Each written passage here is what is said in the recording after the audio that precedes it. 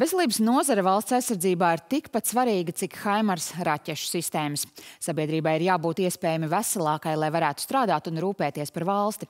Šie un citi secinājumi diskutējot par krīzes veselības nozarē un tajās gūtajām mācībām šodien izskanēja diskusijā Rīgas Stradiņu universitātē. Turpina man kolēģi Zandozola Balode.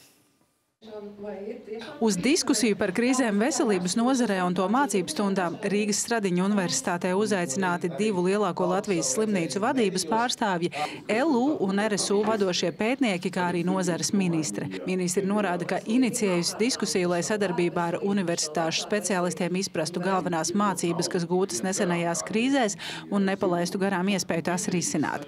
Diskusijā, kā viens no ierobežojošiem faktoriem, izskan arī jautājums par nepietiekamo finansējumu finansējumu, kas ierobežo attīstību. Šeit vēl ir, tāls ceļš ejams, lai mēs uh, dabūtu šo kopīgo izpratni, ka veselības nozare tā nav izdevuma pozīcija, bet tā ir investīcija pozīcija.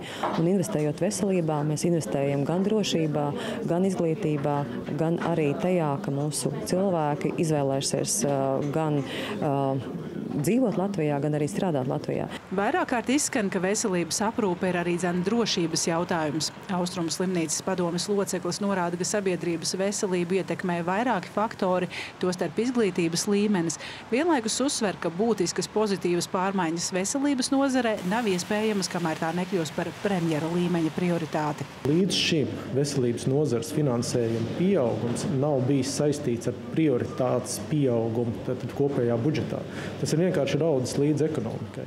Bet tas nav bijis atšķirībā no citām valstīm, kur mēs prioritizējam nozari un no esošā finansējuma piešķiram sistēmiski arvien lielāku daļu no, šīs, no šī finansējuma. RSU pētniece Daiga Behmane uzsver, ka krīzes veselības aprūpē Latvijā nekad nav uztvertas pietiekami nopietni, lai aktīvi rīkotos. Piemēram, esošo cilvēku resursu trūkumu, ar ko sistēma saskars pašlaik, prognožu modeļi uzrādīja jau pirms desmit gadiem.